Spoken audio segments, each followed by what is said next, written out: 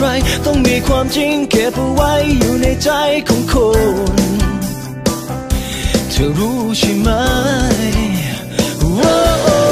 ความจริงกับความฝันที่ยังค้นไม่เจอ ฉันหวั่นใจ ถ้าในวันนั้นความเป็นจริงมันไปทำร้ายเธอ ให้เธอเสียใจ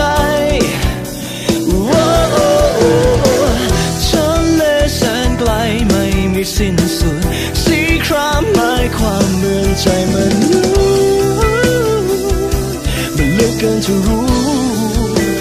这情缘。